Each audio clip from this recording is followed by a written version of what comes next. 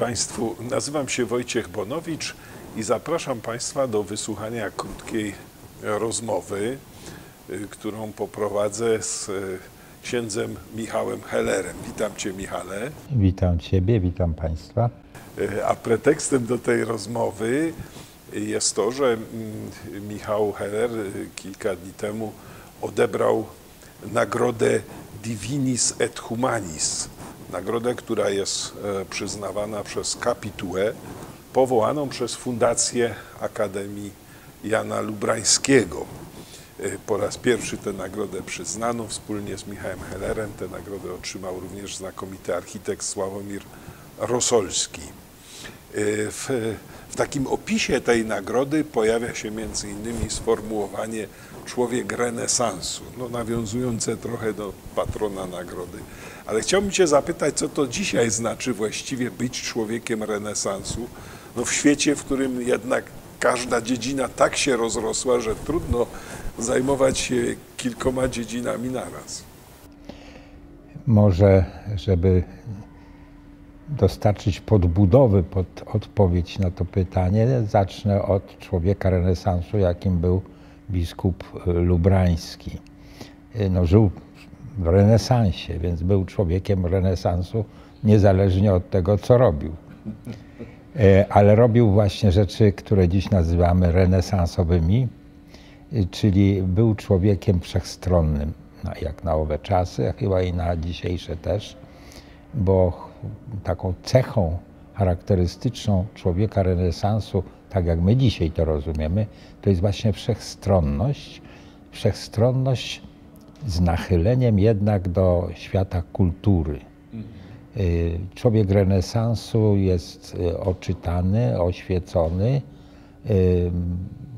bierze udział w życiu kulturalnym najchętniej i czynnie, i biernie, ale przynajmniej biernie, bo przecież ludzi renesansu mamy nie tylko wśród twórców, ale wśród szerokich rzesz. Y, Biskup y, lubrański był też człowiekiem y, kościoła.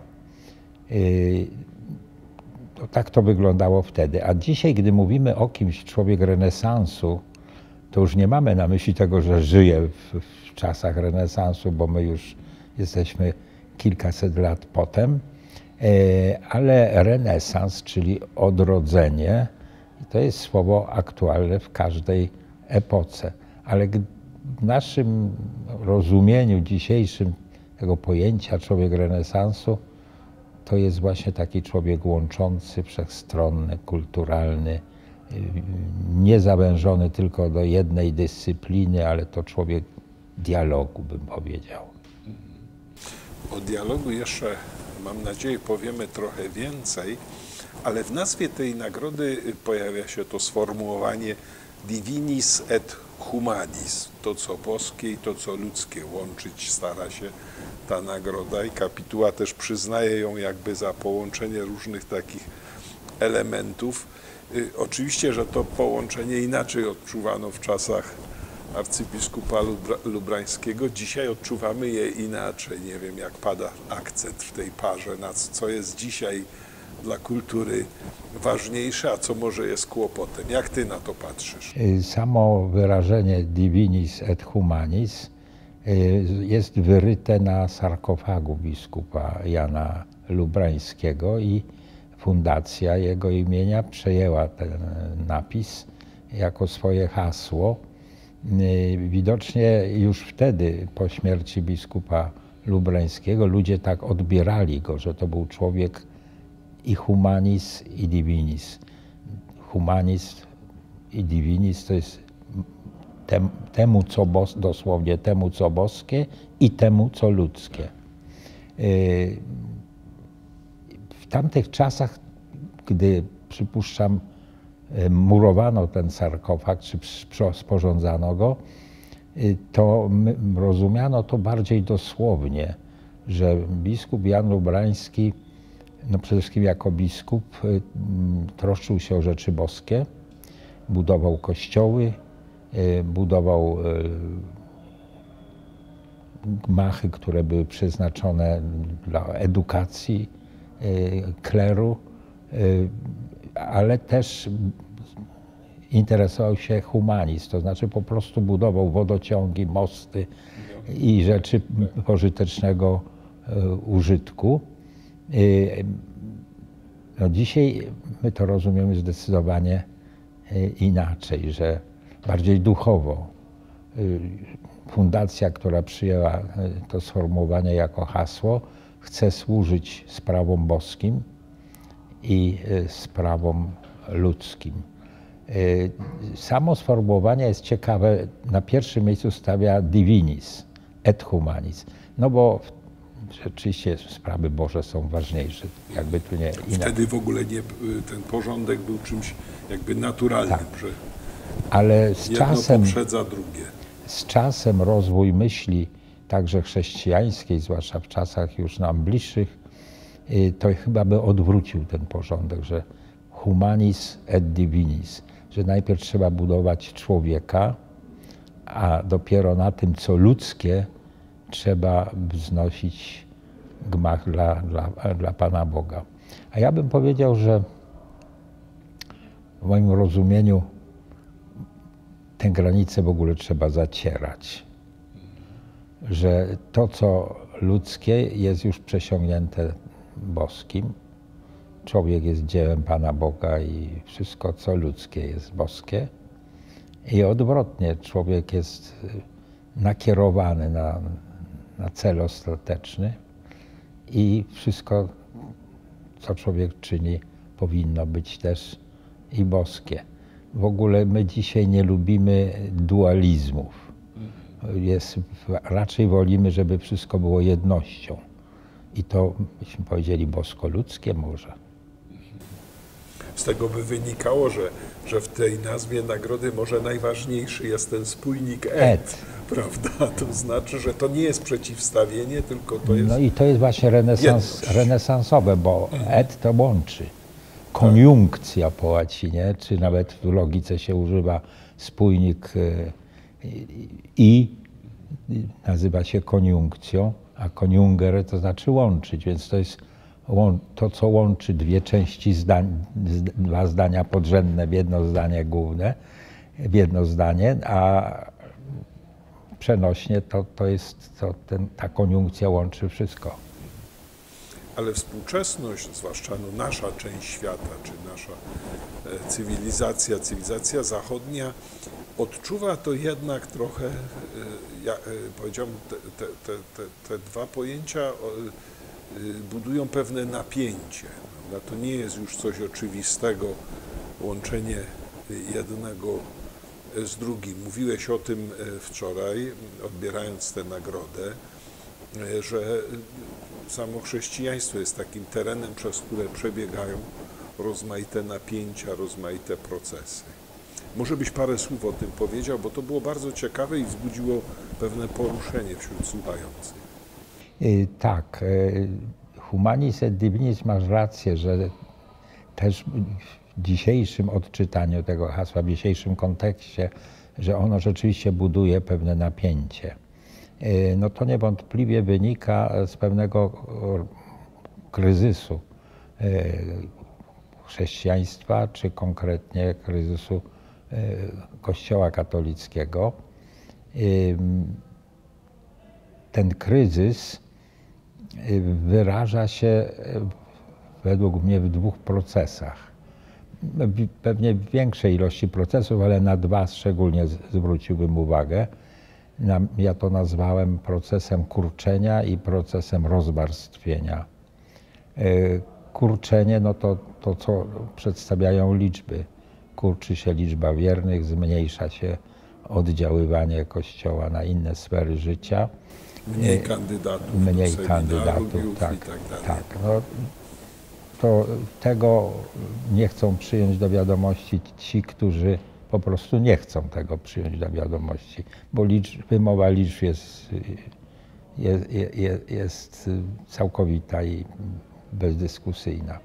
Drugi proces to jest proces rozwarstwienia. On oczywiście istniał zawsze i prawdę powiedziawszy w każdym społeczeństwie istnieje, nie tylko wśród ludzi y, wierzących. Ale dzisiaj w- wśród y, w kościele chrześcijańskim ten proces rozwarstwienia szczególnie widać. Y, Ostro się rysuje. Y, Co przez to rozumiem? Rozwar- Pierwsza warstwa, na którą zwracam uwagę, to jest warstwa ludzi świadomych swojego chrześcijaństwa, y, ludzi y, otwartych na współczesność, a co za tym idzie też ludzi może bardziej krytycznych. Y, Takich ludzi, którzy w swoim duchowym profilu bardzo uwzględniają sprawy racjonalności, dialogu z nauką i tak dalej. Intelektualnej podbudowy. Tak. A druga warstwa to, to, są, to jest no właśnie taka warstwa, którą często łączymy z, z, z religijnością folklorystyczną, Obyczajową, tak. obyczajową Kwestia opartą pewnych przyzwyczajeń. bardziej na tradycji niż na przemyśleniach. Y, i Te dwie warstwy bardzo się silnie zaznaczają. One zawsze, jak mówię, istniały, ale dzisiaj nie tylko, że istnieją, ale troszkę jak gdyby nastawiają się wrogo w stosunku do siebie, agresywnie. Y, I mm, no oczywiście jest cała ogromna reszta, których, k- których nie obchodzi ani y, taka ujęta, religia ujęta w ten sposób czy w inny, tylko są, są na zewnątrz, są obojętni, są często po prostu ignoru, ignorują ten te, te, te problemy. Y, I myślę, że jednym z bardzo ważnych czynników, który, który wspiera tę ostatnią gru- grupę, to jest właśnie utożsamienie religii w ogóle z tą warstwą drugą, ludową, folklorystyczną y, i y, odrzucanie jej jako zbioru mitów. No i właśnie, y, jeśli byśmy chcieli to divinis et humanis rozumieć we współczesnym duchu, to nasuwają się wnioski mm, wynikające z tej pobieżej analizy, którą żeśmy przed chwilą przeprowadzili, że trzeba y, podjąć wielki wysiłek intelektualny, żeby wesprzeć tę warstwę pierwszą. Y, Wysiłek ten powinien być dokonany przez między innymi teologów, ażeby tak przemyśleć szeroko rozumianą doktrynę chrześcijańską, żeby ona stała się nie tylko strawną dla współczesnego człowieka, ale również atrakcyjną, y, żeby miała mu ważne rzeczy do ofiarowania, tak jak w założeniu ma te rzeczy. Y, No a w stosunku do tej drugiej warstwy naszym obowiązkiem by było edukacja. Edukacja religijna, ale i edukacja też ogólna, nie tylko religijna, dlatego Nie że... przeciwstawione sobie, tylko przeciwnie. Tak, bo naturalnym środowiskiem edukacji religijnej jest edukacja ogólna. Z chwilą, gdy nie ma tam y, współgrania, nie ma tego et, tej koniunkcji, y, no to ro- rodzą się wypaczenia, y, rodzi się fanatyzm. Moim zdaniem ma, nie ma wiele rzeczy bardziej niebezpiecznych niż to, gdy prymitywnie rozumiana religia zastępuje naukę i racjonalne myślenie. To wtedy się zaczyna fanatyzm i jest groźna. Ostatnia rzecz, o którą chciałbym Cię zapytać. Y, Jesteś e, od wielu lat kimś w rodzaju takiego tłumacza, który trochę mediuje, pośredniczy pomiędzy rozmaitymi dziedzinami, no głównie między naukami ścisłymi a filozofią, naukami ścisłymi a teologią. Chociaż e, interesujesz się wie, wie, wieloma rzeczami, także literaturą i sztuką na przykład. Y, Powiedz mi, jakie tutaj widzisz y, wyzwania i na jakie przeszkody natrafia ktoś taki jak ty? Bo na pewno nie wiem, stykałeś się w życiu, ja się sam też stykałem z takim pytaniem, no jak taki wykształcony człowiek może być ciągle wierzący, prawda, może być ciągle religijny, nie? Jak, jak ksiądz godzi bycie księdzem z zajmowaniem się kosmologią i angażowaniem się w problemy, które nie są ściśle z religią związane? Jakie widzisz tu problemy, jak sobie z nimi radzisz? Podjąłbym tą, tę Twoją metaforę tłumacza. Y, Dzisiaj tłumacze mają zadanie znacznie ułatwione, bo są tłumacze w Google i są inne jakieś programy tłumaczące. Robią to prawie doskonale. Niewiele trzeba potem y, poprawić. Można z dowolnego języka, ze Swahili na polski można tłumaczyć. Y, Swahili nie znam, ale na przykład z angielskiego na polski czy odwrotnie, to jak się weźmie ten tłu- tekst tłumaczony dobrym, współczesnym translatorem, to niewiele jest rzeczy do poprawienia. Otóż czegoś takiego w dialogu pomiędzy kulturami, pomiędzy religią i nauką nie ma niestety. Nikt nie wymyślił mechanicznego e, tłumacza. To jest chyba największa trudność że trzeba e, jedną nogą tkwić w jednej dziedzinie, którą się chce tłumaczyć, a drugą nogą e, w drugiej dziedzinie, na którą się chce tłumaczyć. I ten rozkrok nie może być za szeroki, dlatego że wtedy to nie wyjdzie. E, I to jest rzeczywiście, rzeczywiście mm, trudne. No. No, na, na takie trudności i na ich przezwyciężenia chyba recepty dobrej nie ma, tylko metodą prób i błędów. Ale myślisz, że da się mimo wszystko być tym tłumaczem, to znaczy e, jakoś te, znaleźć taką, takie płaszczyzny czy takie obszary, że, że to spotkanie będzie możliwe? Czy też raczej jesteś pesymistą, że, będziemy, że rozkrok się będzie powiększał, aż w końcu będzie trzeba cofnąć nogę z któregoś obszaru? Y, Nie, myślę, że to jest możliwe. Y, Nie jest łatwe, ale jest możliwe. Ja już od dawna twierdziłem, że bardzo metaforycznie mówiąc, żeby, bo jak się za dosłownie zrozumie to, co za chwilę powiem, to się krzywdę obydwu stro- stronom zrobi. Ale jeżeli się spotka średniowieczna religijność z XIX-wieczną nauką, to jest konflikt murowany. Ale jeżeli się spotka religijność otwarta, właśnie taka świadoma, krytyczna, y, z nauką naprawdę wielką, to wtedy nie trzeba tłumaczyć wiele. Dlatego zastrzegłem się, że mógłbym zrobić krzywdę, dlatego że ta średniowieczna religijność to tak w naszym odczuciu jest prymitywna, a ona była, borykała się z podobnymi problemami jak dziś. Była rozdyskutowana, była Tak. Pełna I bardzo też, ro, też rozwarstwiona. Może jeszcze bardziej, bo tak e, e, warstwa e, folklorystyczna w ogóle po prostu była analfabetyczna i, i, i, bardzo, bardzo prymitywnie na ogół, bo zdarzały się wielkie wyjątki. Słuchaj, bardzo Ci dziękuję. Bardzo dziękuję Państwu za uwagę. Zachęcam, żeby sięgnąć po, po książki e, księdza Michała Hellera, zarówno te takie ściśle naukowe, jak i e, sporo książek poświęcone jest problematyce religijnej, czy, czy właśnie pograniczu teologii i nauk ścisłych. Może ktoś z Państwa zarazi się tą tą, tą pasją, żeby być takim tłumaczem czy tłumaczką między rozmaitymi dziedzinami. Dziękuję Ci bardzo. Dziękuję.